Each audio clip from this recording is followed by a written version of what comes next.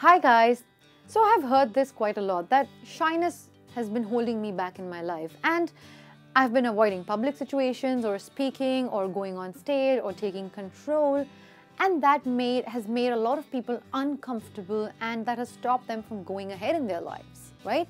If this describes you and your loved ones, just relax because you are not alone in this. I have a good news shyness can be overcome. And how? I'm going to tell you in a video on Skillopedia today where I will share certain strategies and certain moves that will help you overcome your shyness and social nervousness to become much more charming and confident as an individual.